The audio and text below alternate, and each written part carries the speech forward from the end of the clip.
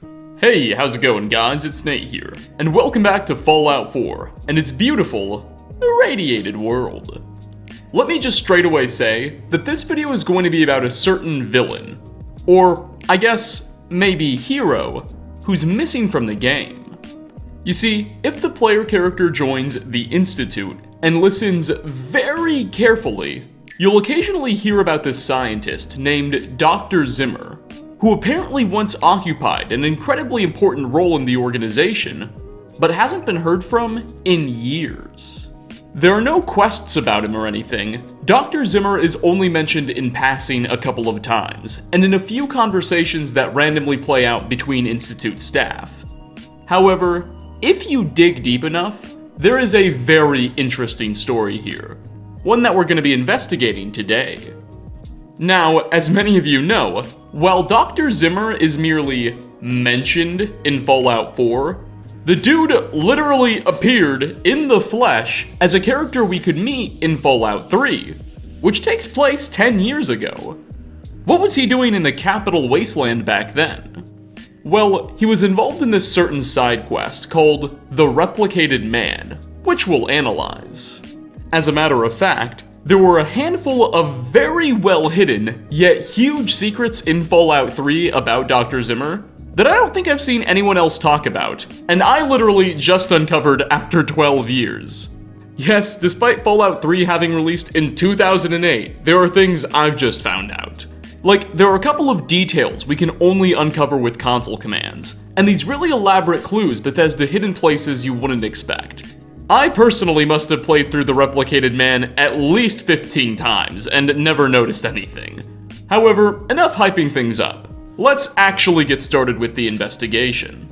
We'll begin by pointing out every single instance Dr. Zimmer's name is mentioned in Fallout 4, whether it was in dialogue or written down on a terminal somewhere. This will give us a neat little trail to start following, as well as introduce us to a lot of information that's going to become helpful later on. I'll also dissect a few noteworthy things about Zimmer in Fallout 4's game files and creation kit that aren't available in normal gameplay. Then we'll move into Fallout 3 and look into the man's role in that side quest, as well as point out all those secrets I hyped up so much. When all's said and done, we're definitely going to be left with a lot of questions. More than what we started with, honestly. But more importantly, we're going to make a discovery or two that'll change the way you look at the Institute for the worse. Anyway, without any further ado, let's do further and figure out what happened to Fallout 4's mysterious Dr. Zimmer. Alrighty, so as promised, we're starting our investigation by analyzing what Fallout 4 tells us about Dr. Zimmer. Chances are, the first time you'll hear his name will be during the player's first visit to the Institute's headquarters which is frankly just such a big moment in the game, it's difficult to pay attention to more minor details. It's during this initial visit we're hit with the shocking plot twist that our son Shaun, who we thought was kidnapped by the Institute just 10 years ago, was really taken around 60 years ago, and is now their leader. Shaun, whose official title is Director, provides us with a brief overview of the Institute's history explaining that the organization was originally founded by some professors and researchers at the Old Commonwealth Institute of Technology, who managed to survive the Great War by fleeing in some bunkers that were evidently beneath the campus.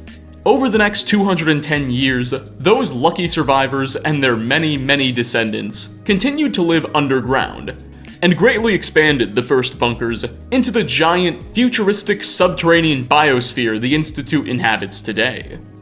Notably, Shaun reveals that for the last century or so, the organization has been manufacturing human-esque androids called synths, that they basically use as workers and sometimes soldiers. The first two generations, or versions, of synth ever made were quite impressive pieces of technology in their own right. But our son reveals that when the Institute abducted him 60 years ago, they used his uncontaminated human DNA to create the third generation or version of synth. And these Gen 3 synths are so advanced, they're indistinguishable from actual human beings. Wow. Okay, cool story, Nate, but where does Dr. Zimmer fit into all of this again? Well, after your history lesson is over, Shaun will ask that the player go introduce themselves to a number of the Institute's highest ranking members. One of the people we're specifically told to meet is a man named Justin Ayo, who is the acting head of the Synth Retention Bureau, or the SRB, as it's often abbreviated to.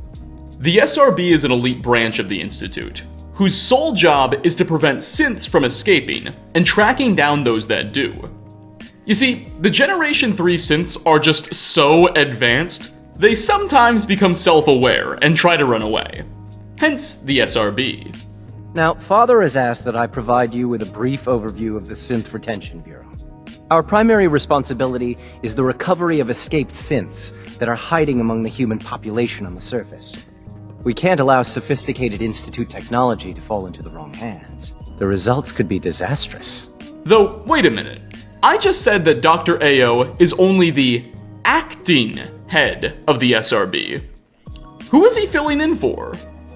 Well, thankfully, you can ask him. Take a listen to what he says.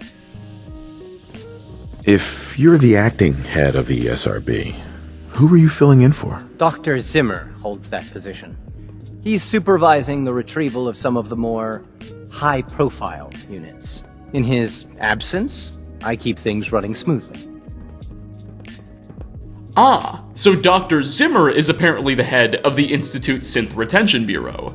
But he's out of town right now, searching for some high-profile units.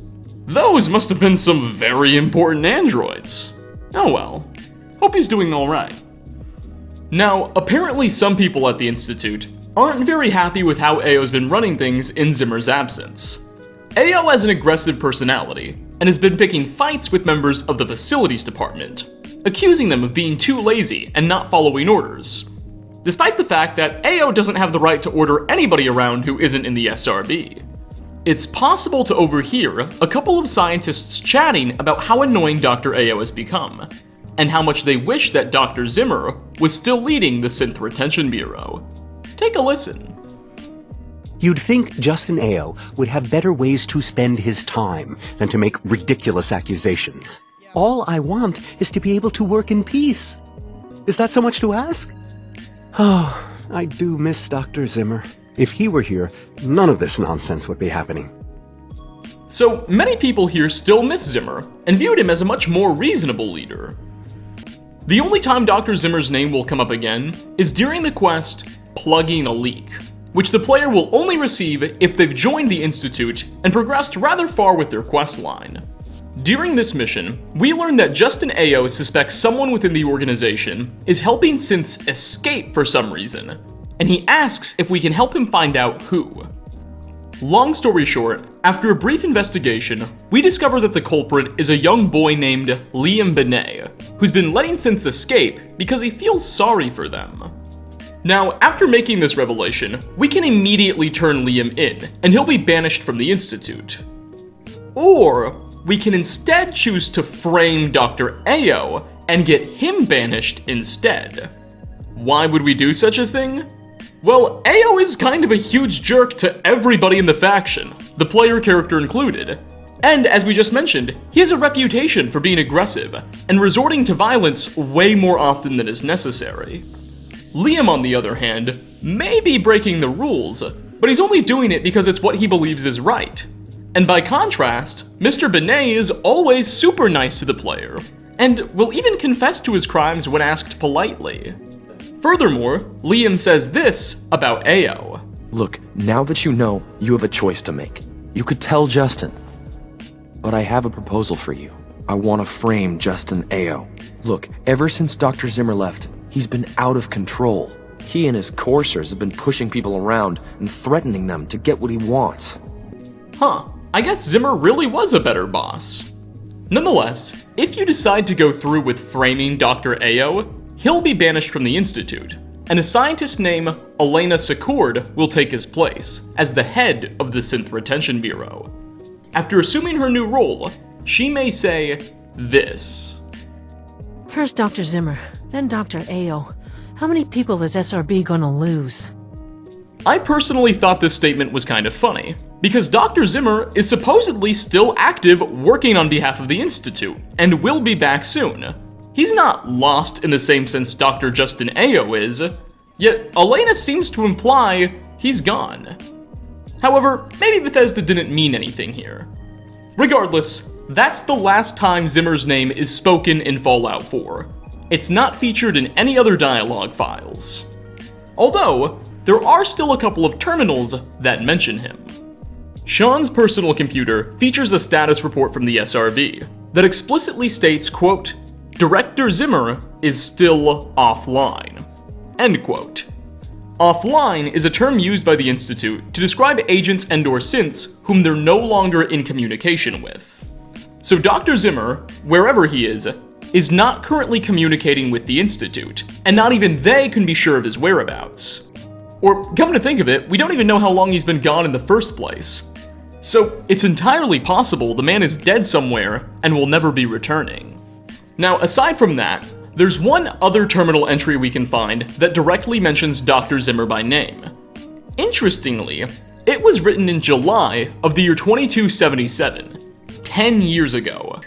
The entry was written by the leader of the Institute's Bioscience Division, who had been testing the effects of something on live humans at Zimmer's request. Supposedly. I'll just read it to you. Quote, latest round of testing complete. Results are all within expected parameters.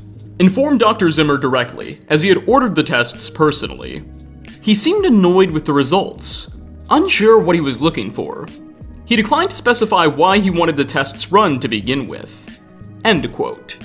Given what we know about the Institute's bioscience division, the exact thing they were probably testing on Zimmer's behalf was a man-made virus known as the Forced Evolutionary Virus, or FEV, that would end up creating super mutants.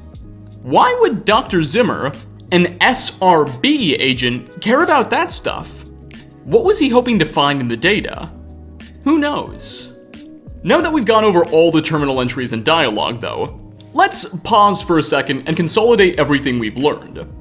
Dr. Zimmer was once the leader of the Synth Retention Bureau, and left some time ago to pursue some rather important escaped synths. We're unsure how long he had been out on that mission, but he's currently not active with the Institute.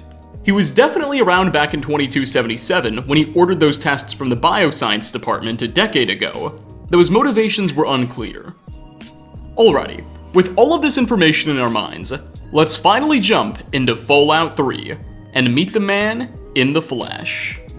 First things first, Fallout 3 begins in October of 2277, 10 years prior to the events of Fallout 4, and just a couple months after Dr. Zimmer observed the Bioscience Department's FEV experiments.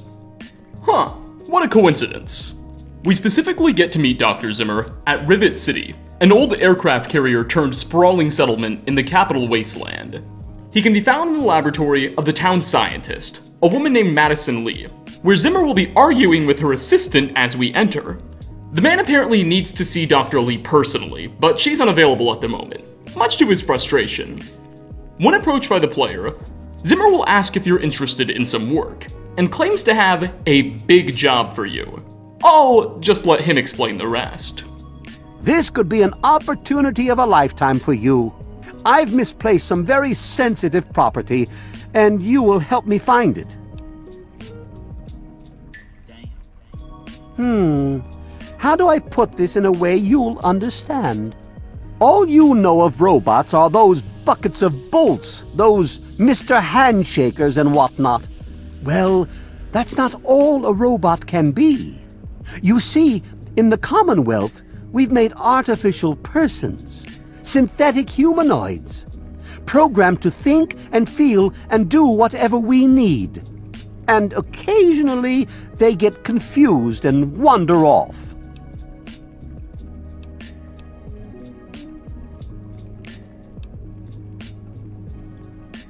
Nonsense! This is a machine we're talking about. Can you enslave a generator or a water purifier? Of course not. The same principle applies. But let's get back to your mission. You are to find this missing android. I've tracked him to somewhere here in the capital wasteland.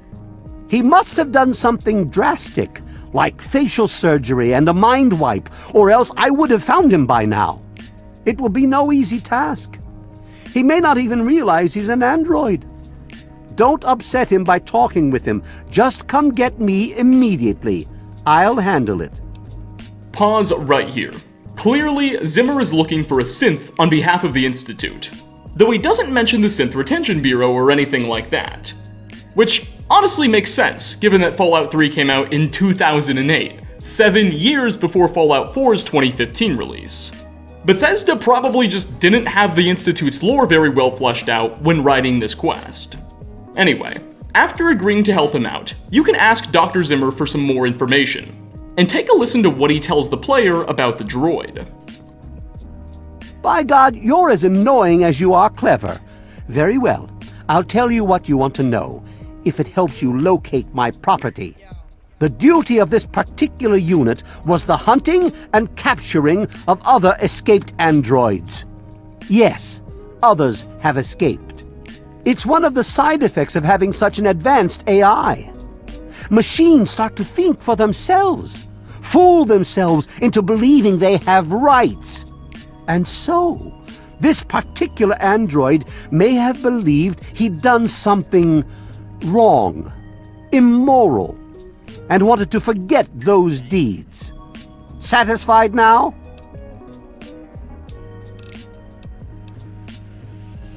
This particular android, designation A321, is uh, different, special, the most advanced synthetic humanoid I've ever developed.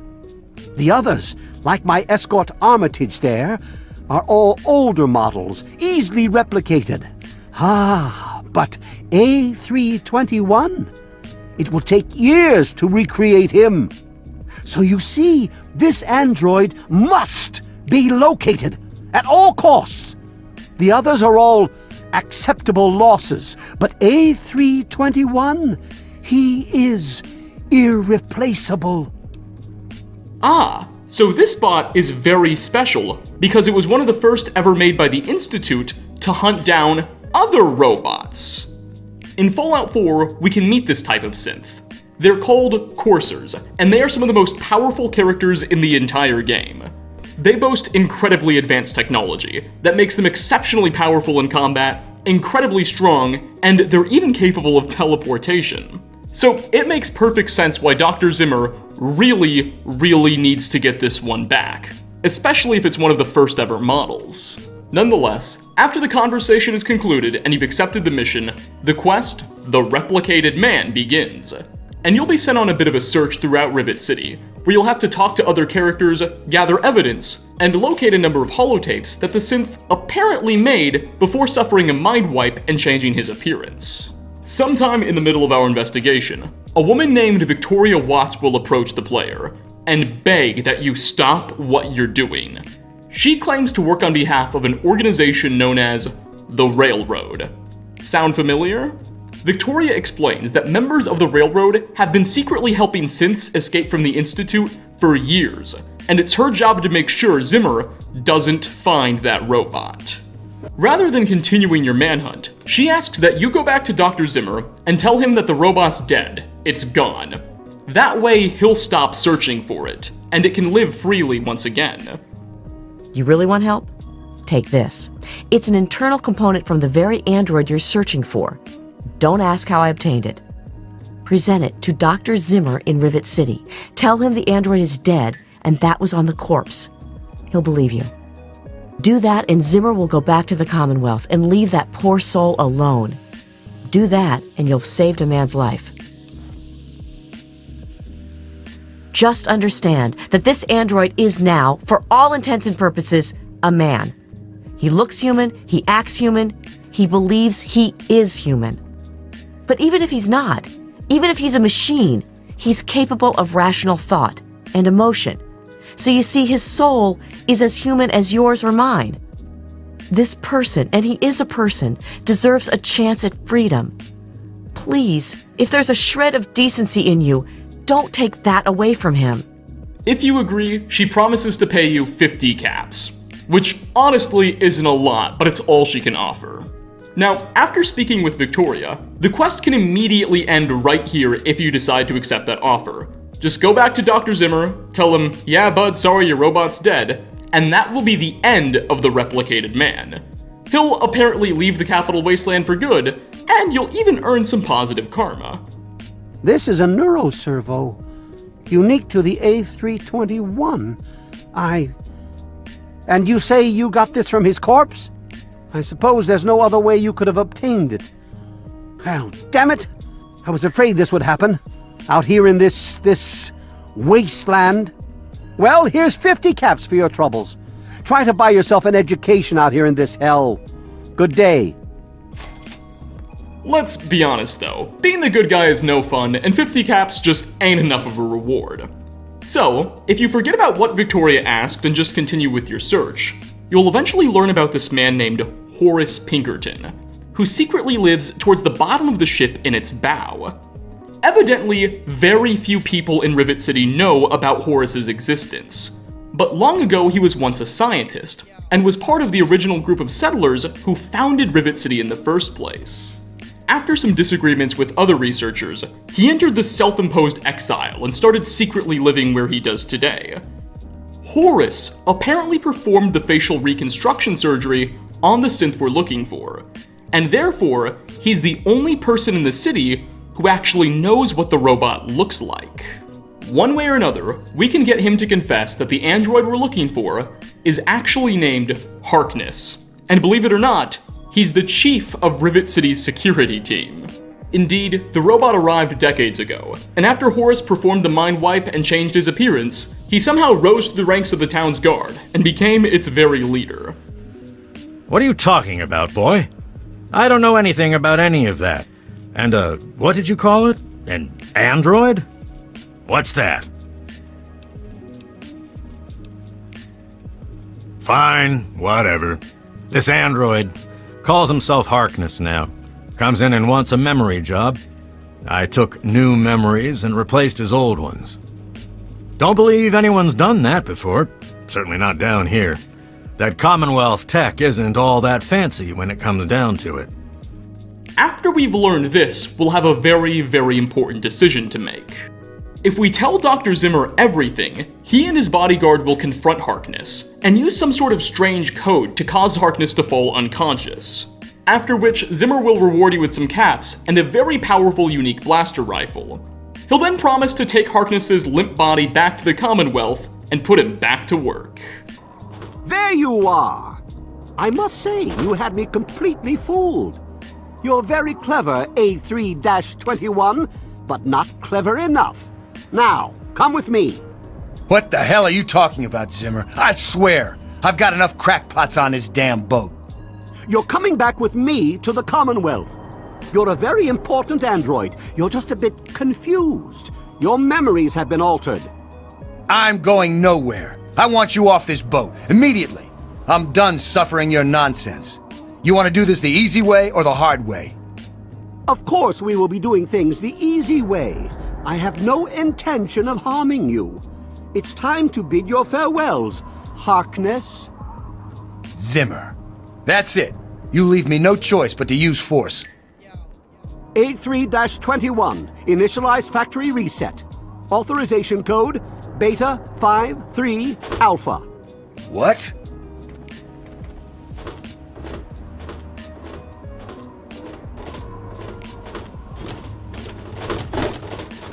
A3-21, awaiting initialization protocol parameter. A3-21, awaiting initialization protocol parameters. Alternatively, we can go back to Harkness and tell him everything we found out.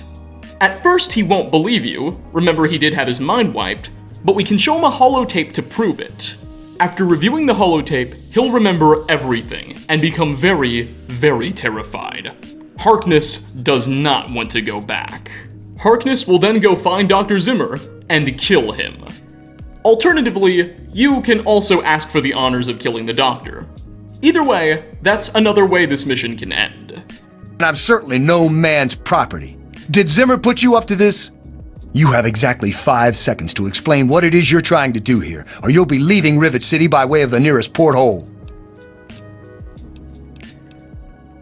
Alright, I'll humor you. But this is impossible. I can't be a robot, I'm a human being. I breathe. I eat.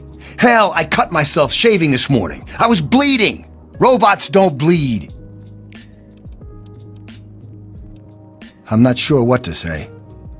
I'm not sure what to even think about all this. I'll admit this is pretty convincing evidence, but it doesn't make any sense. How can this be possible? Ah! My God. I. I remember. I remember it all. From before. Zimmer. The Commonwealth. The Institute.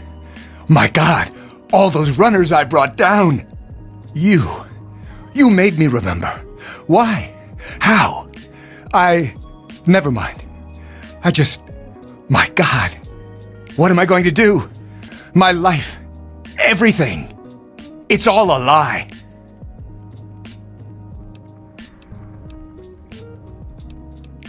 I'll tell you what I'm going to do. I'm going to shove him into a very small box and send him north where he belongs.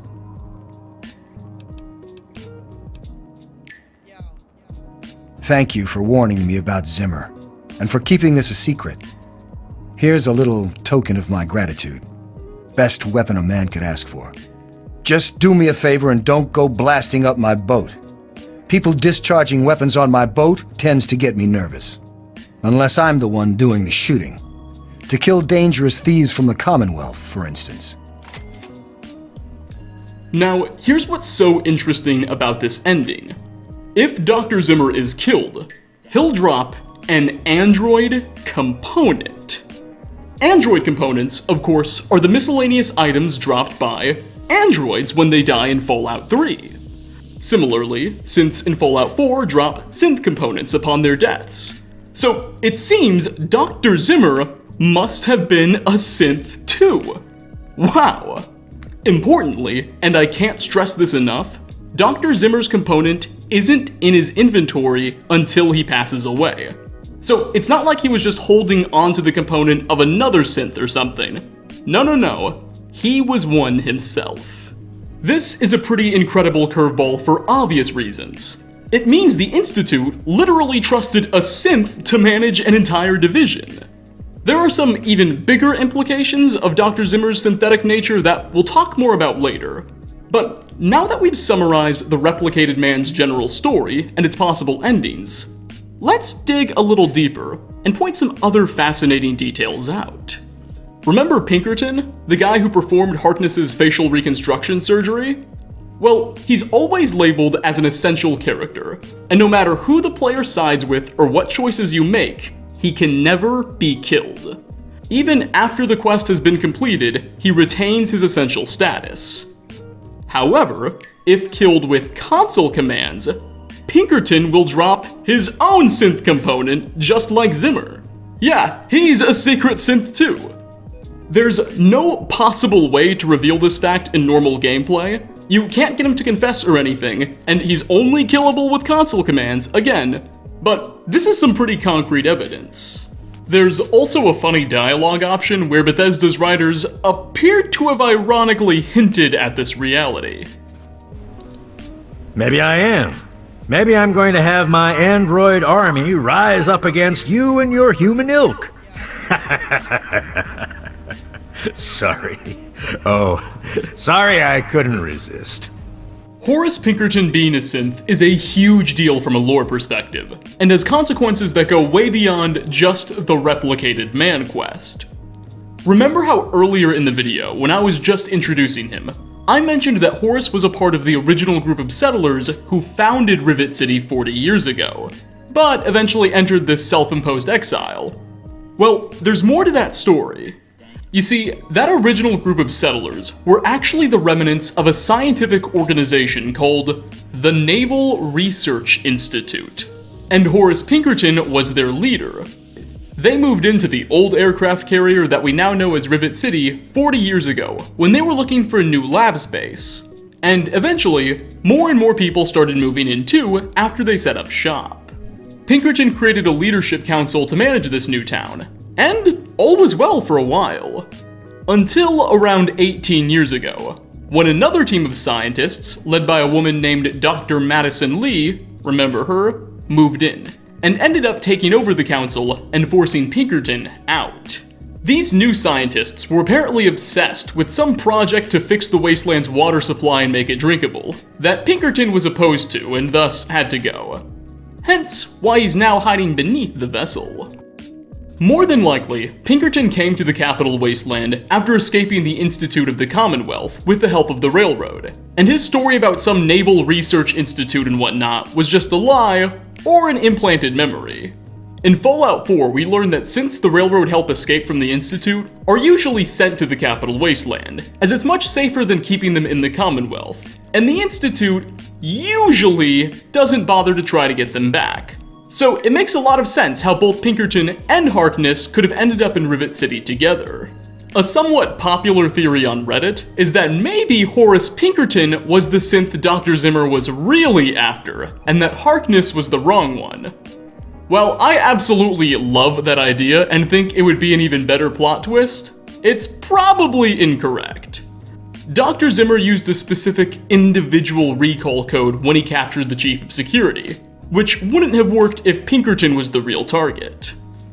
The last detail I'd like to point out, before we start drawing conclusions and looking into cut content, is that Zimmer specifically states he made the robot he's looking for, and that he was its creator. Human. So no, he may not be just an ordinary robot, but he's certainly not human, no matter how badly he wishes it so. I made him, I want him, End of story. This could just be a little hyperbole, and it's likely that the entire SRB helped out. But it may explain why Dr. Zimmer ordered those FEV virus tests from the Bioscience Division. In Fallout 4, we find out that the Institute was experimenting with the FE virus with the sole purpose of trying to create and isolate genes that could be used to make their synths stronger and more durable. It's possible that in July of 2277, when the terminal entry was written, that the doc was in the process of creating the robot that would become Harkness, and was just trying to get more data. No matter, theories completely aside, so far in this investigation, we've definitely learned a lot. We learned Zimmer's a synth. We learned that the synth he's looking for was helped by another synth. And we learned that the dude who replaced Zimmer at the Institute isn't a very popular leader. However, even with all of this, we're still no closer to answering the original question that prompted this video. Where is Dr. Zimmer now? What's he doing in 2287? Well, it seems pretty obvious that Bethesda purposely gave him vague whereabouts during Fallout 4, so as to make it seem like any ending to this quest was feasible. I mean, if you killed the dude in Fallout 3, only to find out that he's alive and well in the Institute of Fallout 4, it would have meant your work was for nothing. But by making his status as mysterious as possible, Bethesda allows players to believe whatever they want.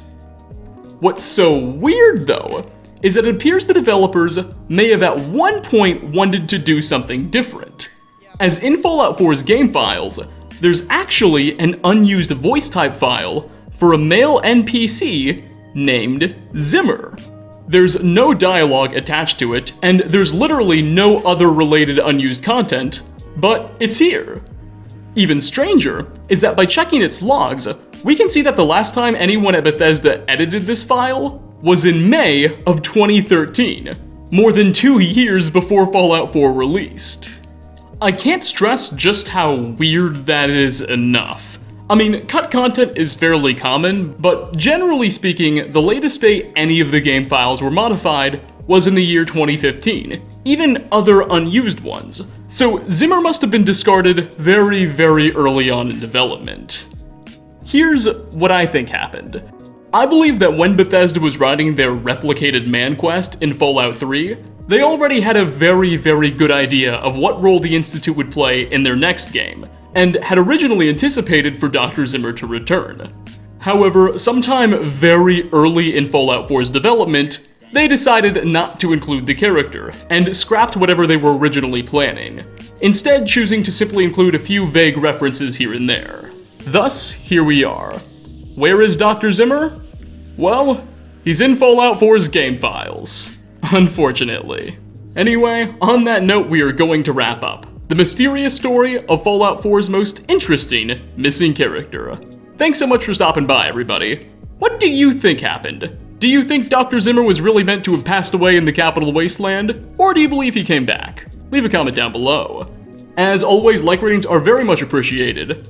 Again, thanks for watching, and hope to catch you all in my next video. Peace out, everyone.